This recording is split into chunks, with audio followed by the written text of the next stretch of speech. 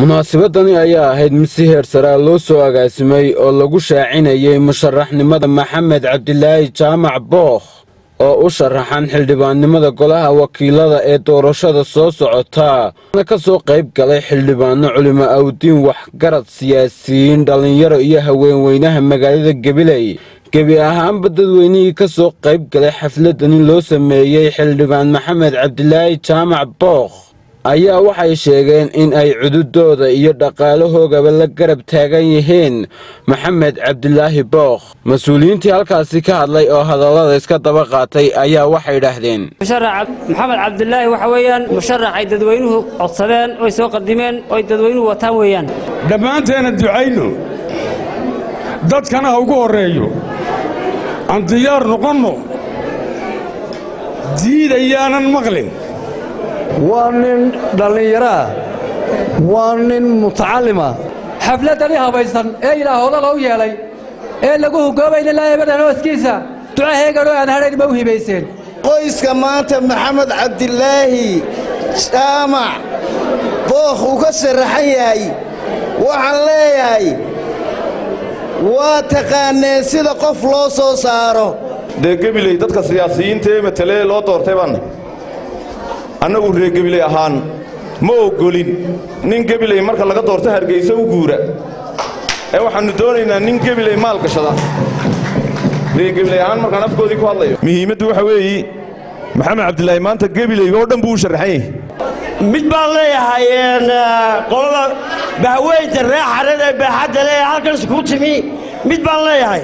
Waxaan leeyahay maanta waxa idiin sharaxan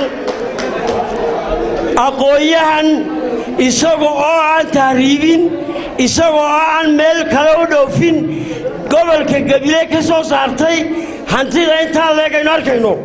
Waxaan anigu aan leeyahay codkeenna aan siinno maxamed cabdilaahi jaamac bookh maxamed caaw wuxuu inoo soo bandhigay inuu u sharaxan yahay golaha wakiilada ee jamhuuriyadda somalilan wakhtiga inagu soo socda.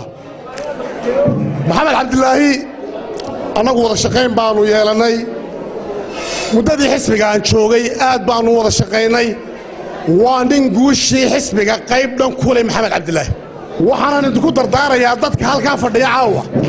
Sidaa aad u soo xusteen ead ugu timaadeen inaad codkana u siisaan. Ladan qiimaha badan ee murashaxnimada maxamed oo ah nin saaxiibkaya oo qiimo badan oo u qalma uu qalmaa kursiga uu maanta maaragtay u sharaxan yahay ee golaha wakiilada. Maxamed in la doorto sababtaan caawa ku qaadanana anaa idiin sheegaya. Nin baannu maalin meel iska soo raacnay oo wuxuu yidhi maanta waxba igu dhacay buu yidhi.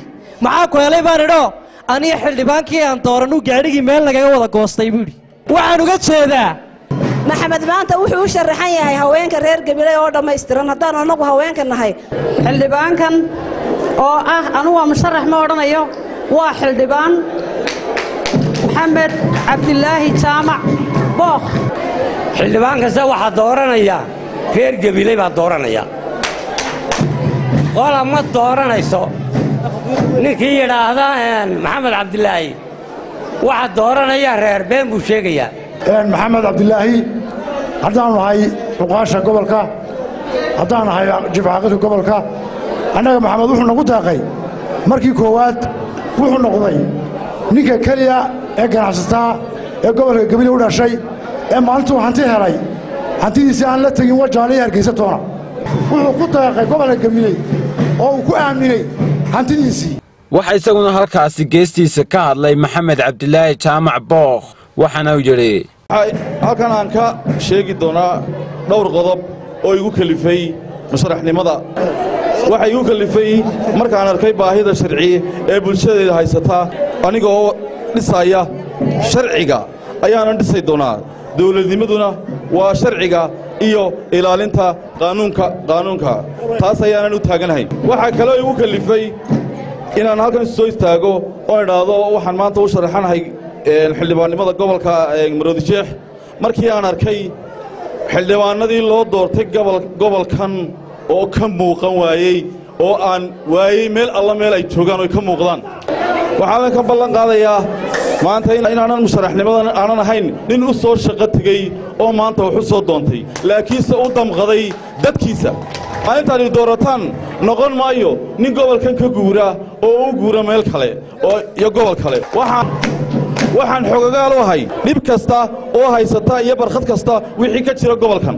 Waxaan ognahay in gebiley ay buuxisay shuruudihii gobolnimo laakiin ay weyday cid u dhaqdhaqaaqda oo sharciga ugu hilisa waxaan ballan qaadayaa inaan ka shaqayn doono sida ay u heli lahayd gebile xuquuqdeeda ka dhiman ee ay ku leedahay ee ay u leedahay ku leedahay jamhuuriyadda somalilan ee gobolnimo. Sharcigu haddii uu ku shaqeeyo oo uu hirgalo waxay sharci u leeyahay gobolka uu ka soo jeedaana inay xuquuqdiisa ay xuquuqda heli doonto. Maanta waxay somalilan ku iibsamaysaa in ay ay hirgalaan doorashooyinkaasi.